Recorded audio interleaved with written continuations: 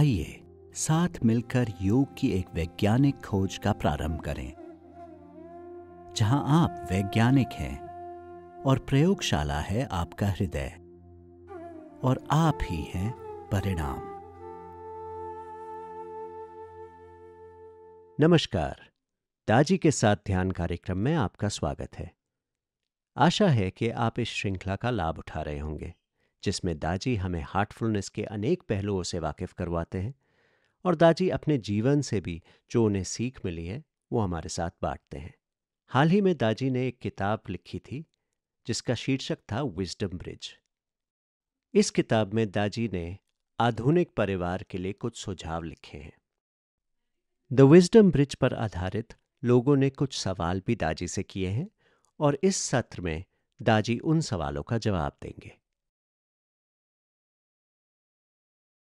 दाजी, आपके खुद के दो बच्चे हैं जो विदेश में हैं तो क्या वो भी आपकी विचारधारा से सहमत हैं और वो हार्टफुलनेस ध्यान करते हैं? मेरे दो लड़के हैं।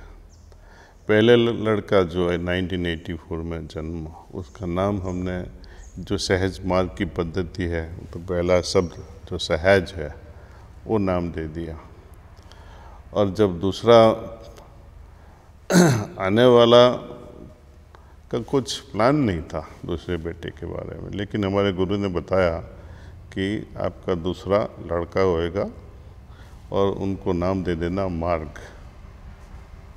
तो ये दो बच्चे और जैसे कि उनके संस्कार अच्छे बने, हम तो न्यूयॉर्क में रहते थे तो उन्होंने बताया थोड़ा उनको अपने पेरेंट्स के पास भेज दो। क्योंकि आपके पेरेंट्स यहाँ ठीक से नहीं जी पाएँगे न्यूयॉर्क में। आप उनको गुजरात भेज दो। तो मैंने उनकी बात सुन के दोनों जब छः छः साल के हो गए, तभी इंडिया भेज दिए तो यही मैं बात करता हूँ, ये बुक्स में भी, कि ग्रैंड पेरेंट्स हैं, वो अच्छा अच्छी तरह से उनको संस्कार अच्छे देते हैं, उसका चरित्र, उसका पर्सनालिटी, उन, क्योंकि उन्होंने अपन को बनाया, राइट? तो हमसे अच्छा अप, उनके ग्रैंड चिल्ड्रन के बनाएँगे भी। क्योंकि उनको अनुभव हो गया है। और साथ साथ में मेरे भाई भी थे बहन भी थे सब लोग पूरा परिवार साथ में रहता है। तो एक तरह का माहौल होता है। जो कभी भी न्यूक्लियर फैमिली में नहीं होगा सब साथ में रहते हैं। तो बाद में छोटा लड़का पढ़ाई करके इंडिया में डॉक्टर बन के यूएस चला गया। वो अभी मेरा बिज़नेस संभालता है अपना ही बिज़नेस हम कुछ छोड़ते नहीं हैं। जो ज़िम्मेदारी है वो करनी ही है, निभानी है, भाग नहीं जाना है। एक्स्ट्रा हो सर्विस में रख दो। बड़ा लड़का है, वो मेरे साथ अभी रहता है। लेकिन वो यहाँ से, वहाँ का धंधा मैनेज कर लेता है। उनकी वाइफ है, उनके एक लड़का है, दूसरे लड़के के दो बेटियाँ हैं। तो इस घर में रह के ही अपनी, क्या कहें पूजा कहो या सजदा कहो दोनों को निभाना है। अपनी दुनियावी ज़िम्मेदारी निभाते निभाते आध्यात्मिक ज़िम्मेदारी भी निभानी है। दाजी आप इस संस्था के चौथे गुरु हैं। आप भविष्य के बारे में क्या सोचते हैं कि आगे ये संस्था क्या करेगी? यही सिलसिला चलता रहेगा। जैसे बोलते हैं कि अंत तक means until the end of the universe ये सिलसिला चलता रहेगा। क्योंकि आध्यात्मिकता में तरक्की करनी है, प्रगति करनी है तो लिविंग गुरु की बहुत ज़रूरत है। यदि इस सिस्टम को एस्टाब्लिश करके पहला गुरु के उनके बाद कुछ नहीं होता तो ये आध्यात्मिकता की नॉलेज उनके साथ चली जाती जो फैलाव होना है, वो बंद हो जाता। लोगों को कौन सिखाएगा? किताबें हैं, लेकिन वो मुर्दा है, ज़िंदा नहीं है। वो उस टाइम की नॉलेज में फॉसिलाइज हो जाता है। जैसे जैसे टाइम आता है, वैसे वैसे नॉलेज या एप्लीकेशन ऑफ़ नॉलेज वो बदलता जाता है।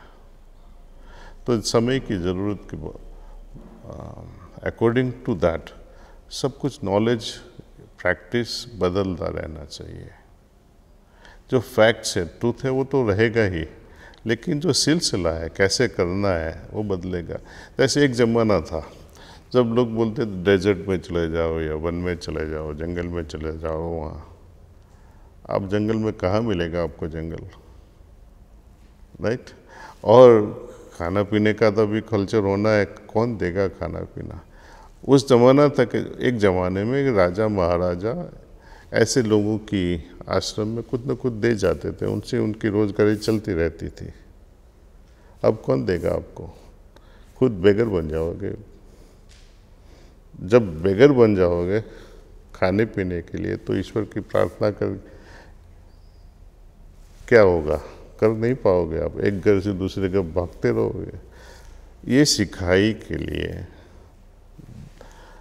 करंट रहने के लिए, आज के समय के साथ living master living guide is the most essential सभी धर्म की जब बात करते हैं, जब जैनिज्म की बात करते हैं, वो बोलते हैं तेईस या चौबीस गुरु के बाद कोई आएगा नहीं। क्रिश्चियनिटी में कहते हैं जीसस आ गए, उनके बाद भविष्य में आएगा और लोग उसके इंतज़ार में ही है, कब आएगा फिर से जीसस सिमिलरली प्रॉफिट साहब एक बार आ गए, लेकिन अभी जो दुनिया चल रही है, उनको फिर से सिखाने के लिए कैसे आएँगे और पहचानोगे कैसे? तो ये लिविंग ट्रेडिशन है, हमारे बाद भी कोई ना कोई आएगा ही। हमारे बाद जो भी हुआ है अभी तक, पहले, उसको भूल जाओ। पर्सनालिटी वाइज जो नया गुरु आएगा, वो जो सिखाएगा, वो सीखो। वो समय के साथ की बात करेंगे। दाजी, बहुत से लोग धन देते हैं अलग अलग जगह पे, जहाँ भी उनकी आस्था होती है। तो इसमें कोई खराबी है क्या? आप क्या बताना चाहेंगे लोगों को? एक तो नहीं हो सकेंगे, कभी भी नहीं हो सकेंगे। राम के समय में भी सब लोग एक नहीं थे। कभी भी नहीं हो पाएगा ये। ये ड्रीम है, ये सपना है। लेकिन एक दूसरे के साथ का जो सद्भावना है, एक दूसरे के साथ की जो मन की, एक जात की स्नेह भाव जो होना चाहिए, वो बढ़ाना है। हम ऐसा जीवन नहीं जिए कि लोगों को लगे कि एक घमंड से जी रहा है। आपकी आबरू क्या होगी? आपके पास पैसा है, इसलिए लोग झुक जाते हैं। प्रेम से नहीं, मजबूरी से। आपको सैल्यूट करते हैं लोग। प्रेम से नहीं, मजबूरी से आपकी जो पोजीशन है। और लोग कन्फ्यूज़न में, बड़ा कन्फ्यूज़न में है। हमारी संस्कृति ये है, हमारी संस्कृति वो है। और संस्कृति का एक भी चीज़ फॉलो नहीं करते हैं। एक भी चीज़ नहीं। लोग गीता पढ़ते हैं। लेकिन गीता में जो लिखा है, वो करना कोई नहीं चाहता है। सभी धर्म की यही बात है। आप कुरान पढ़ो, क्या लिखा है और लोग क्या करते हैं। बुद्धिज्म में देखो, बुद्ध कहते थे, भगवान जैसी कुछ चीज़ नहीं, आत्मा नहीं है। लेकिन खुद लोगों ने उनको बुद्ध भगवान बना दिया। उसकी पूजा करने लगे। तो सभी धर्म के लोग अलग अलग अलग गलत दिशा में जा रहे हैं और जब गलत दिशा में जाते हैं और बोलते हैं कि हम सबसे अच्छे हैं, मुसलमान बोलेगा, हम सबसे अच्छे हैं। हिंदू बोलेगा, मैं सबसे अच्छा हूँ। ये चलता रहता है। इसीलिए समाज में कभी भी शांति नहीं रहती है, क्योंकि सब मानते हैं, मैं उनसे अच्छा हूँ। ये धर्म धर्म की बात हो गई। हिंदू धर्म में भी लोग शिव भक्त, कृष्ण भक्त, दुर्गा भक्त, सब एक दूसरे से बड़ा मानते हैं। और कई जो पॉलिटिकल अब भक्त है, वो सबको मानते हैं। किसी का दिल नाराज़ न हो। भगवान का दिल या माँ का दिल नाराज़ होता है, लेकिन नहीं, खुश रखना है भगवान को। पाँच रुपया दिया या पाँच लाख रुपया दिया। आशा रखते हैं पाँच सौ करोड़ की। लोग इधर उधर, ये हिल्स जाएँगे, वो हिल्स जाएँगे, ये मंदिर जाएँगे, वो मंदिर जाएँगे। भगवान की तो मूर्ति है, ठीक है, वो भी एक तरह की मान्यता है। लेकिन आप वहाँ पाँच लाख देते हो वो मूर्ति क्या करेगी? वहाँ लोग घड़ियाल फेंक फेंक देते हैं, वहाँ सोना फेंक देते हैं, हार निकाल के फेंक देते हैं, मंगलसूत्र फेंकते हैं। भगवान को क्या ज़रूरत है? लेकिन ऐसा मानने लगे लोग कि ऐसा मैं करूँगी, इतना सेक्रीफाइस करूँगी, इतना बलिदान करूँगी तो मुझे कुछ और अच्छा मिलेगा। यहाँ नहीं तो शायद वहाँ मिल जाए स्वर्ग में।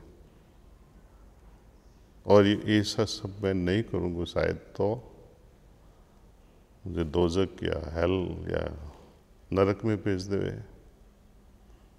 तो एक सभी धर्म, ये दो चीज़ पे आगे बढ़ते हैं। एक है टेम्पटेशन लोभ ये करूँगा तो वहाँ जाऊँगा। और डर लगता है कि नहीं करूँगा तो बर्बादी हो जाएगी। यही सही ढंग से कौन करता है? दाजी आज हमारे देश में लोग धर्म के नाम पे बट रहे हैं। आपका समाज के लिए क्या संदेश है?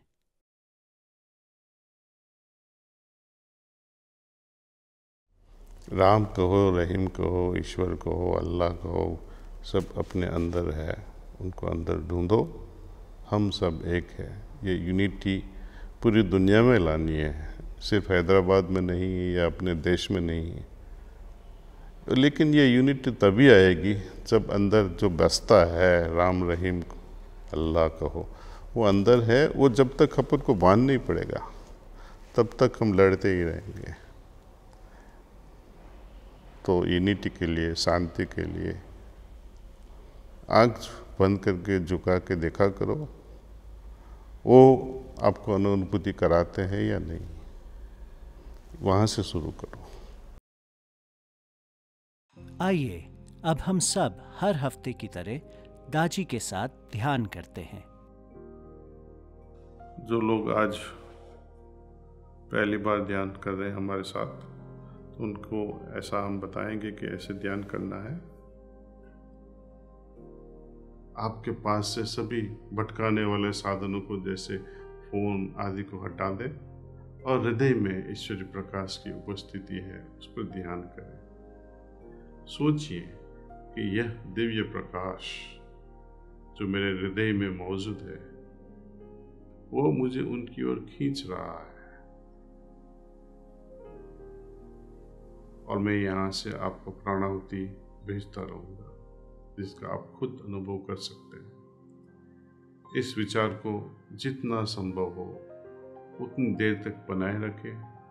अगर आपका ध्यान इस पवित्र विचार से भटक जाए और आपको बहुत से विचार आने लगे तो अपने आप को बस यही याद दिलाएँ कि आप दिव्य प्रकाश की उपस्थिति पर ध्यान कर रहे हैं।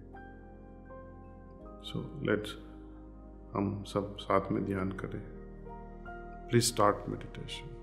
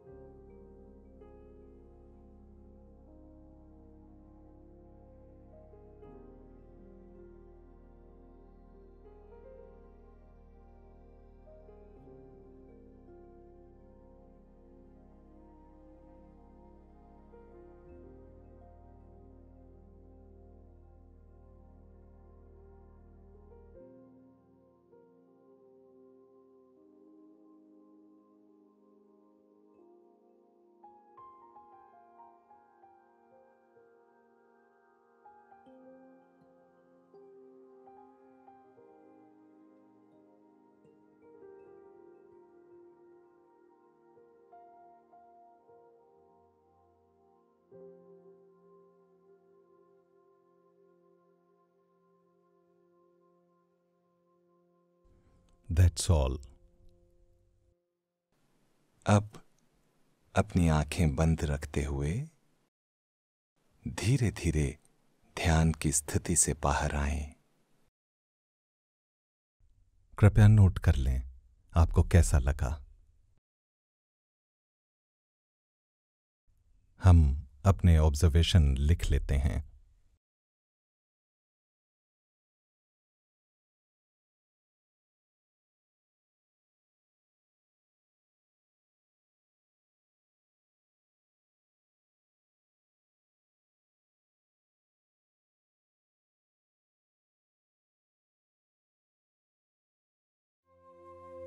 दाजी के साथ ध्यान कार्यक्रम में जुड़ने के लिए आपका धन्यवाद। कृपया अगले हफ़्ते फिर जुड़िएगा हमारे साथ।